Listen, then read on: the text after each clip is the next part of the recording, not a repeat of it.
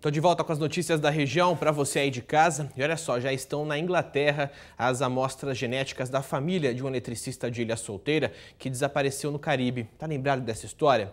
As autoridades da ilha de Trinidad e Tobago alegaram que não conseguiram realizar o exame de DNA no país e por isso tiveram é, que enviá-lo à Europa. Um corpo e os pertences da vítima foram encontrados em uma floresta, mas ainda não existe a confirmação se realmente trata-se do eletricista. Enquanto isso, a angústia, gente, toma conta dos familiares que estão aqui no Brasil. Vamos relembrar esse caso.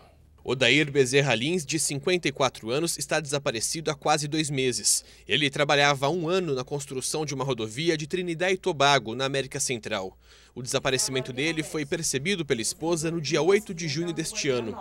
Desde então, ela não tem mais notícias do marido e mantém apenas comunicação com funcionários da empresa em que Odair trabalhava. A polícia de Trinidad e Tobago e a Interpol investigam o caso, que é tratado como sequestro depois que a vítima recebeu ameaças de nativos. Por enquanto, ninguém foi preso. E olha, ainda não há um prazo para quanto tempo vai demorar a sair daí a divulgação do resultado desse exame de DNA que está sendo feito na Europa.